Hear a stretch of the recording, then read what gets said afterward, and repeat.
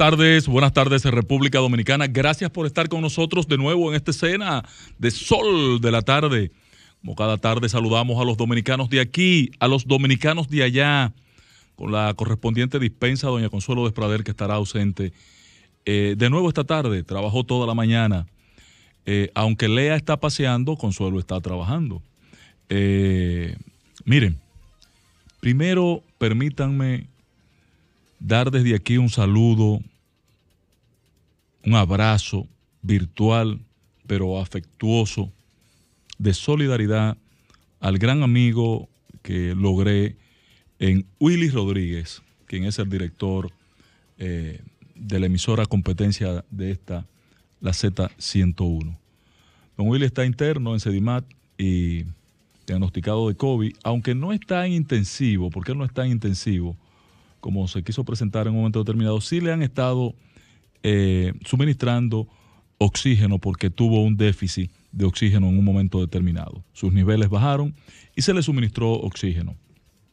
Tengo el informe del mediodía de hoy de que se recupera, que ha tenido recuperación satisfactoria y que ha ido superando eh, y en una franca mejoría. Un abrazo, que Dios lo bendiga y lo cuide. Miren, eh, yo quería esta tarde referirme al tema del Código Penal, porque aquí se, escondió el código después de la aprobación de la primera lectura, el show de, los... ¿cómo, era que le decían a los brownie marihuana? Ah, brownies ecológicos. Después de los brownies ecológicos, de las denuncias, de la persecución, de la captura, apresamiento, medida de coerción a la que lo envió, que es parte también de las mujeres que protestaban. Eh, las justificaciones no son aceptables, pero bien. Eh, se escondió el tema y en la Cámara de Diputados se siguió trabajando y evidentemente que se rindió fruto en estas discusiones y hoy se cuenta ya con un informe y con unas modificaciones a lo aprobado en primera lectura que penosamente en el caso del aborto no implica modificaciones de ningún tipo.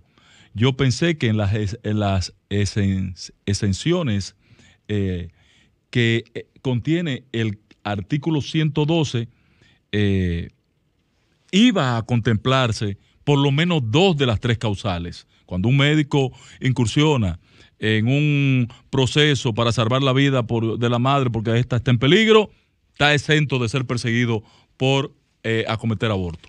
Cuando el médico ah, proceda a un instrumento, un aborto, porque la vida del feto no es viable fuera del útero, eh, no es viable.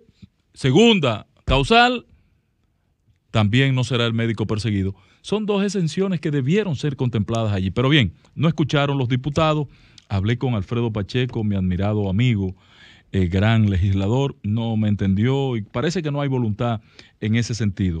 Penosamente están entrando en contradicción con un mandato de la Constitución. Más que entrar en contradicción, lo están obviando para hacerse los graciosos con la iglesia, que en ese aspecto tiene una actitud irracional. La Cámara de Diputados también el día de hoy aprobó el contrato Apache. El contrato Apache es aquel que suscribe la República Dominicana con una empresa eh, exploradora y explotadora de petróleo que trabajará en las playas, en las costas de San Pedro de Macorís, donde en una misión que yo estuve participando junto a Pelegrín Castillo, de quien aprendí muchísimo al respecto, eh, se descubrió bajo la orientación de una misión cubana que en esas playas de eh, San Pedro de Macorís, también en, las playas, en la bahía de Baní, de Ocoa, también en el lago Enriquillo, también en Puerto Plata, hay petróleo y gas natural. Hay petróleo y gas natural. Esta empresa, eh, la Cámara de Diputados hoy conoció la aprobación de este proyecto, es una buena noticia, lo aprobamos. Más adelante vamos a hablar del tema de la ley de, que modifica el tema de la investigación para concentrar las actividades con una, bajo la coordinación del DNI, las diferentes agencias de investigación. Eh, de eso vamos a hablar más adelante, pero es un tema sumamente importante.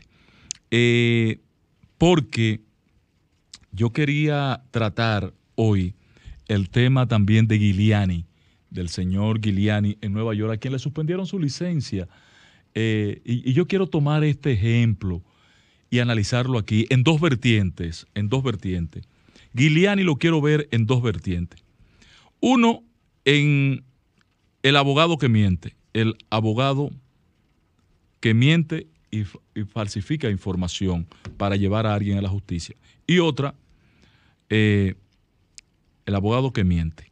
Y el otra es cuando es el Ministerio Público que incursiona en falsas acusaciones, que es a donde yo quiero derivar. Pero no podré hacerlo porque eh, espero que si tenemos un espacio esta tarde, después de las exposiciones de mis compañeros, podamos discutir este tema, eh, porque quiero vincularlo, todo esto, a lo acontecido en el país el 15 de febrero del año 2020, cuando le dieron un golpe de Estado a Danilo Medina y al PLD, que todavía no se han enterado, pero aquí se dio un golpe de Estado, y se acometió una acción que pudo derivar en una guerra civil, en una confrontación civil, y eh, eso va a pasar impunemente y sigue la impunidad con ese tema. Y nadie ha llamado al expresidente de la Junta, a los ex integrantes de esa Junta o a los que desde afuera accionaron con ese tema.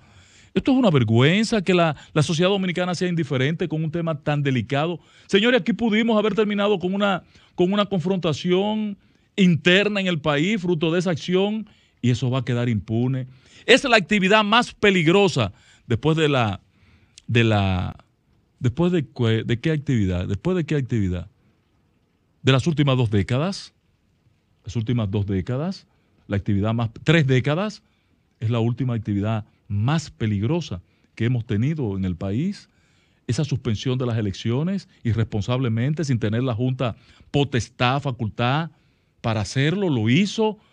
Peor todavía, cuando yo oigo a la señora Inver, que quiero que Consuelo la invite a este espacio, a Inver Brugal, ella da detalles que uno le dice, pero ven aquí, ¿quién fue que tomó la decisión? Pues no fue el Pleno.